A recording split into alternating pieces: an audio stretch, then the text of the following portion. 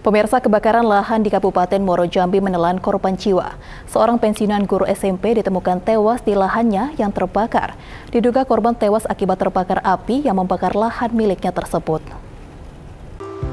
Romel Siringo, 60 tahun, warga RT 04 Desa Bukit Baling, Kecamatan Sekernan, Kabupaten Muaro Jambi, ditemukan warga sudah tak bernyawa dalam posisi tertelungkup di lahan miliknya.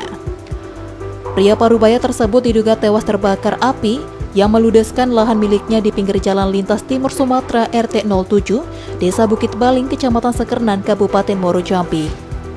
Luas lahan korban yang terbakar diperkirakan hampir mencapai setengah hektar. Beruntung api berhasil dijinakan oleh petugas pemadam kebakaran dan warga sehingga tidak meluas. Hal ini pun dibenarkan oleh Kepala Desa Bukit Baling, Rubani. Dijelaskannya bahwa warga itu tewas di tempat saat membersihkan lahan. Korban yang berada sendirian di lokasi diduga terjatuh di lokasi kejadian saat hendak memadamkan api yang membakar lahannya. Korban ditemukan dalam kondisi telah meninggal dunia dengan kondisi 40% tubuhnya terbakar. Uh, dia betul meninggal di situ. Uh, dia membersihkan lahan untuk pekarangan rumah. Uh, tapi latar bapak itu umurnya juga kurang lebihnya sekitar 60-an. Hmm. Dia juga udah pensiun dari pegawai negeri, kemarin guru SMP, Bapak Ringo-Ringo itu. Hmm.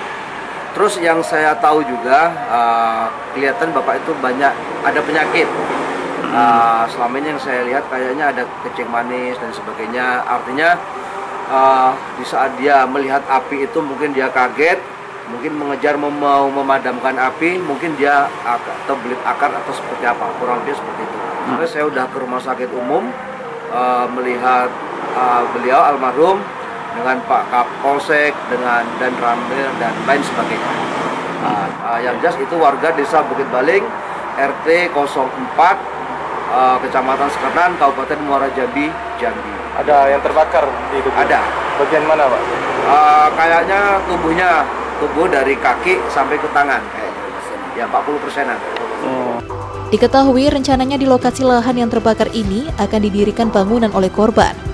Jenazah korban sempat dibawa ke rumah sakit sebelum akhirnya dibawa pulang ke kediamannya untuk segera dilakukan pemakaman.